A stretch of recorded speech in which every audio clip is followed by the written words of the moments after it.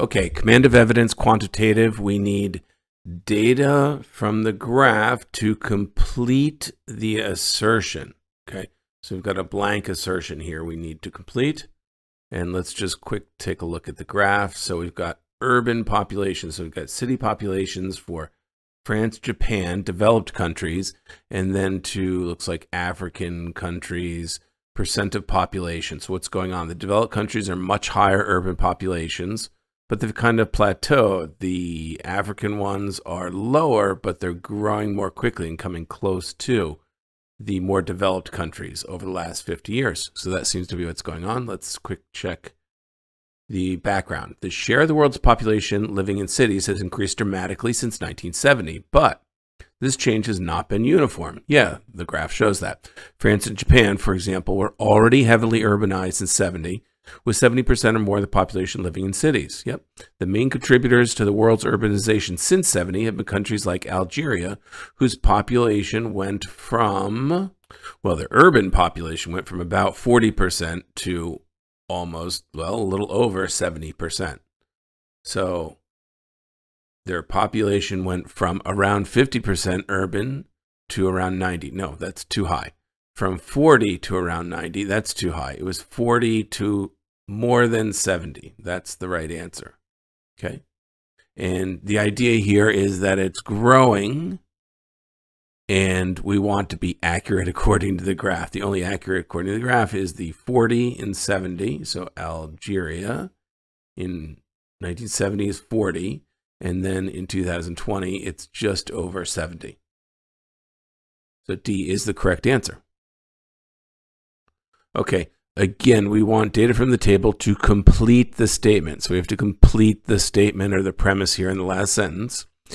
And it looks like we've got a table this case with different whale species against their length, time to filter water, average number of lunges. Not sure what that is, but what can we see here? That if you're really long, you take a lot more time to filter water and you have fewer lunges, around four rather than six or seven. So let's read.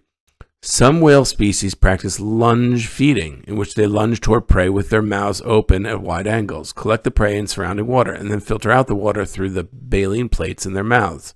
Although the volume of water engulfed increases in whales' body length, the surface area of whales' baleen plates, which influences the rate at which water can be filtered, does not increase with body length to the same degree, which helps explain why they take more time for longer body lengths. Proportionally, it's the same. Okay. Um, does that say anything about the lunges? I'm not sure. They're not really saying anything about the number of lunges. So I don't think that's relevant to the claim. So minke whales and humpback whales show similar average filter times. Okay. That says nothing. They're about the same size. They're small. So that's not telling us too much. Humpback whales show an average. No, it's not about lunges. I don't think lunges is the issue. Fin whales show a longer average filter time than minke whales do. Yeah, fin whales are a lot longer, so they take a lot more average time. Well, I'm going to put a question on that. Blue whales show the longest average filter time and the highest average number of lunges per dive. So again, I'm not sure that the lunges per dive are relevant here. I mean, what do they do? They go, they filter out the water through the baleen plates. Although the volume of water engulfed increases with the whale's body length, the surface area of the plates, which influences the rate at which the water can be filtered, does not increase with body length to the same degree. So this is all about filtering and body length. I don't think this is right. Fin whales show a longer average time than minke whales do because their lengths are proportionally different. This length is about three times and this number is about three times. So on a relative basis, they're more proportional. That's evidence that indicates that the rate at which they filter does not increase with body length.